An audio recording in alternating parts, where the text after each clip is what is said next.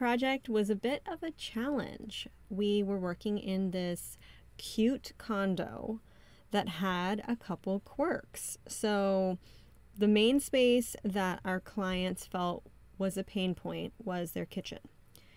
There was it was a new construction and the cabinets in the kitchen were very high up.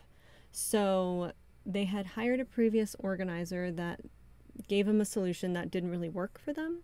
So we were really trying to come up with a way that she could access her food and her dishes without having to lug out a step stool every two seconds.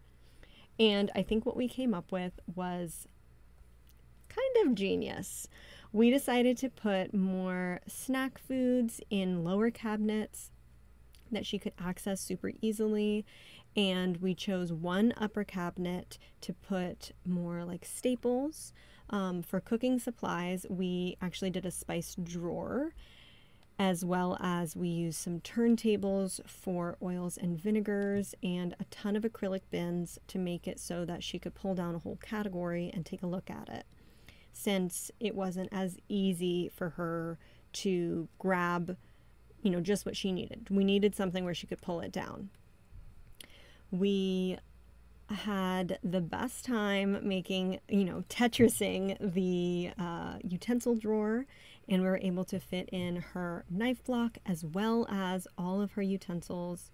And it just turned out to be a really beautiful space that also was functional for her.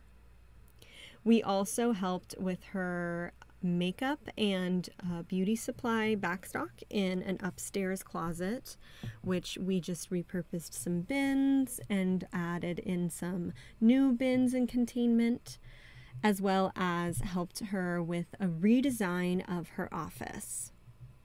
All in all, it was a super fun job, and I think that the team crushed the challenge.